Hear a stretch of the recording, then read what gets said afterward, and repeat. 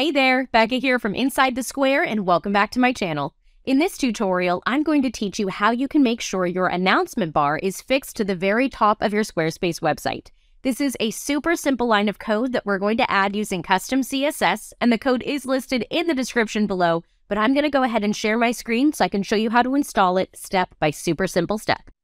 Here we are inside Squarespace, and you can see I have the announcement bar at the top of my screen. But when we scroll down the page, the announcement bar disappears. We're going to make sure that stays at the top of the screen with this code right here. Now this code is in the description below. I'm just going to copy it. And what we'll do is navigate to design and then scroll down to custom CSS. Because the announcement bar is on every page, I want this code to load with every page. So we're putting it in the custom CSS for our site.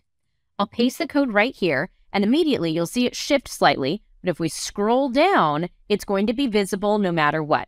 What this code says is place the announcement bar at the top of the page but also make sure it takes up 100% of the page. If I remove that part of the code, it'll be scooted over to the side and only fill the amount of text that's there. I want it to be full screen, so make sure you include width 100%. Now I've got one last code down here, and that's to hide the close option. We have this little X on the top right-hand side. You can leave it there if you want to, or add a new line of code and hide that close option. So we'll see this announcement bar at the top of the screen, and it's going to stay there no matter what. I'll go ahead and select Save, and these codes will be applied to every page on my Squarespace site. Again, that code is listed in the description below. Just make sure you navigate to Design, Custom CSS, so this will load on every single page on your site where that announcement bar is going to be. Now, I have a few other tutorials on customizing your announcement bar, and I've listed them in the description below, so be sure to check those out.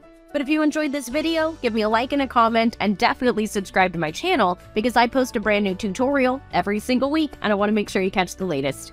Thanks again for watching, and most importantly, have fun with your Squarespace website. Bye for now. If you liked this tutorial, you're gonna love my Squarespace CSS cheat sheet.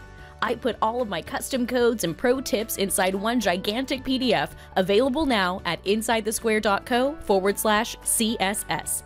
That's insidethesquare.co forward slash CSS.